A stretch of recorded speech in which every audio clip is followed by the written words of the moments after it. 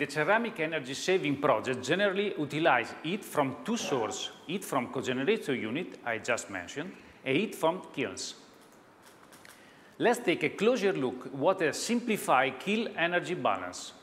If we take a typical type production operation in which firing occurs at 1220 degrees, the kiln uses about 415 kilocalories per kilogram of firing product to heat by the fuel. Normally is natural gas.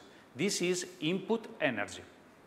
In a modern kiln with the preheating burner combustion air, outgoing energy consists of endothermic energy associated with, with product transformation, total machine dispersion, heat in the product exit to the kiln.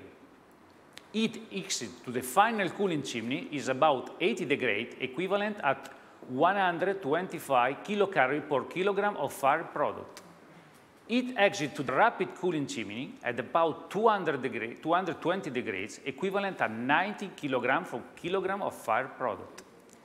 Heat exit to the fume chimney is about 250 degrees, equivalent at 105 kilocalorie of kilogram fire product. Energy teams focus on the heat of the kiln chimney.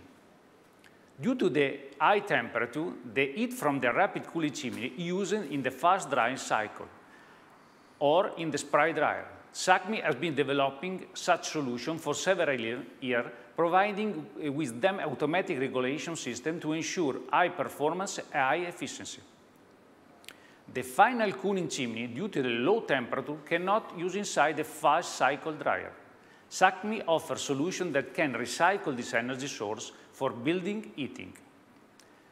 More recently, progress in terms of technological research and machine development has allowed SACMI to design dryers with less extreme cycle that can utilize the heat from low temperature recovery.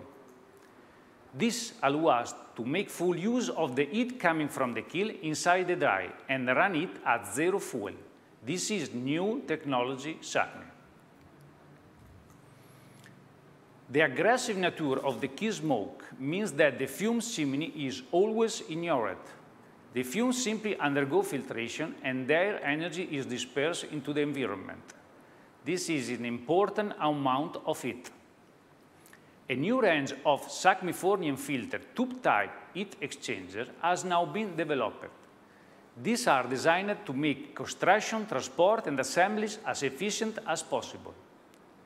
This puts us in a position to offer a product that has been engineered to contain cost and ensure to fast return on investment.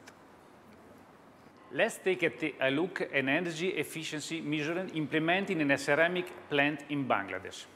These efficiency solutions were implemented on a, an, existing, an existing plant and adapted to the specific needs of both market and customer. SACMI we was also able to utilize the heat from the number three kiln chimneys and direct to another spray dryer in the plant by heat exchanger. The air is hot and clean without contamination. The fluid never comes into the contact with the kiln smoke. Is a total of 59,000 normal cubic meter hour arrived from the kilns at the temperature of 200 degrees. The heat exchanger produces 40,000 normal cubic meter hour of clean hot air at a temperature of 140 degrees. This heat is to send to the spray dryer. Savings are calculated to be 1.1 million of cubic meter of natural gas per year.